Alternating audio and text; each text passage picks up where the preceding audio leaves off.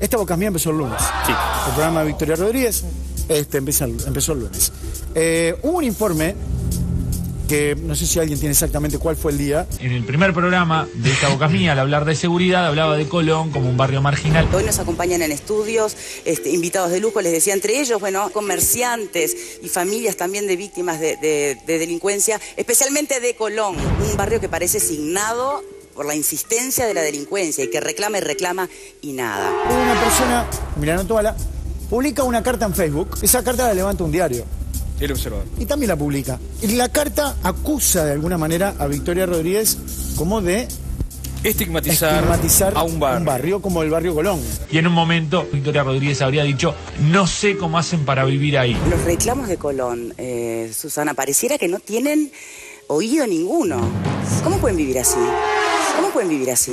Esto es imputarle a todo el barrio, en este caso al complejo América, características que son de algunas personas de ese barrio. Esto es creer que porque hay unos delincuentes que, que son de ese barrio, el resto, todo el mundo que vive allí es de ese barrio. Lo que dice Tuala es que no es así. Él dice que eh, Victoria Rodríguez eh, desde hacía tiempo venía tirándole palos al complejo América. El principio de la carta, que es lo Sí. que no se vio ahora, que, que recuerda Emiliano, es un, un informe que se hizo hace ya un tiempo sobre el barrio Colón y sobre ese complejo. La parte de esa yo no pude comprobarla, si efectivamente. Pero para eso tenemos los programas de zona roja. Si eso existe, Sí. lo van a, lo van a Sí. levantar. Por lo menos Bendita TV. En el caso de Sonríe, no creo. El tema que nos convoca, inseguridad ciudadana.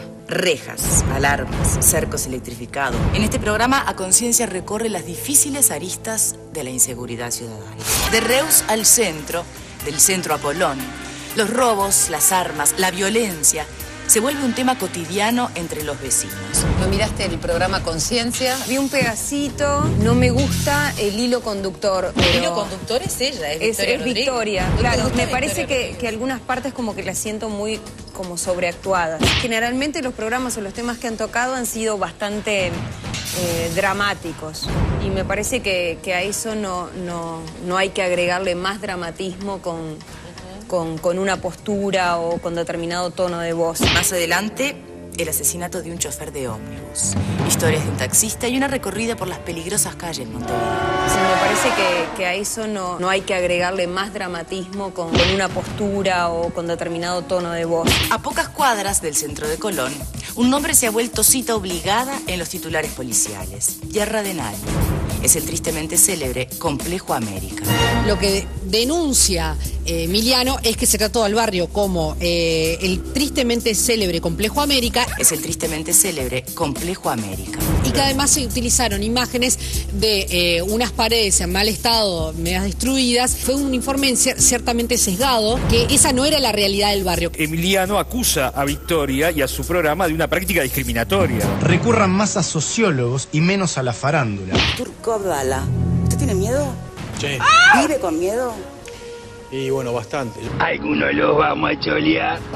Algunos los vamos a cholear. Ya. Somos los cracas. Porque los estereotipos que ustedes arman son los que mañana llaman a combatir. Eh, vamos a discutir de la seguridad, pero no vamos a poner policía. No somos boludos, ¿eh? Emiliano acusa a Victoria y a su programa de una práctica discriminatoria. Y aparte la invita con una dureza y una ironía eh, no- notable en el sentido, venite a tomar unos mates, mirá que acá hay gente que trabaja. Por lo general no se contesta esto. Pero debido a la repercusión, Victoria se tomó su tiempo y ayer arrancó así el programa. A partir de nuestro primer programa en que se hizo el tema de inseguridad y violencia, un vecino de Colón escribió una carta diciendo que yo directamente había estigmatizado al barrio Colón. Es una carta en la que me achaca una intencionalidad que no es cierta. Me parece que, que algunas partes como que las siento muy como sobreactuadas. Es el tristemente célebre Complejo América. Yo nunca dije que Colón era un barrio marginal. Yo nunca dije que Colón era una zona roja. Y parece que una pregunta que yo sí hice le molestó muchísimo. ¿Cómo pueden vivir así? ¿Cómo pueden vivir así? Lo que quiero que entiendan es que mi intencionalidad jamás fue poner a Colón en el estigma de barrio peligroso. A pocas cuadras del centro de Colón, un nombre se ha vuelto cita obligada en los titulares policiales. Tierra de nadie. Lo que quiero que entiendan es que mi intencionalidad jamás fue poner a Colón en el estigma de barrio peligroso. Tierra de nadie. Este chico escribe, fíjate Victoria que más allá de Carrasco y Positos hay vida. Esta carta está escrita desde el prejuicio. Victoria, en serio. Tu programa es violento porque la frivolidad, la exclusión y la ignorancia son violentas. Dejen de estigmatizar en la tele. Su hijo, el día de mañana, se enamora Era de esa la tu hija, es un pescador de balizas. ¿Y vos estás feliz o hubieses preferido otra cosa para tu hija? Yo lo que estoy feliz es que sea una relación equitativa, respetuosa, con amor y que no sea ¿Equitativa violenta. desde qué lugar? Y de tener ganas de superarse como persona. Dejar por ahí de lado un montón de intereses y, y cosas que Ay, ella claro, hacía por gusto, son bienes por- materiales impuestos No, disculpame, No, me no, refiero a una vida eh, culturalmente activa. Me ¿Qué refiero a una vida Puede tener una vida cultural activa, no va a tener una vida activa. Balizas, mi amor, cultural. Sí, mi amor, no es- no es el fin del mundo, ¿eh? Bueno, pon... No es el fin del mundo. no. La gente de balizas pinta, la gente de balizas ¿Pero escribe, cómo? la gente de balizas... Es el pescador de balizas, no el alcalde, yo estoy hablando.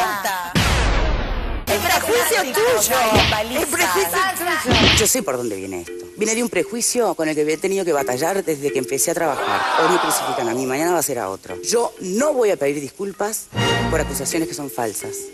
Pero fundamentalmente yo nunca voy a pedir perdón por no haber nacido en un barrio marginal. En mi época de teenager, Montoya era la playa, era el lugar donde había que estar y pose todo el día. Qué agotador.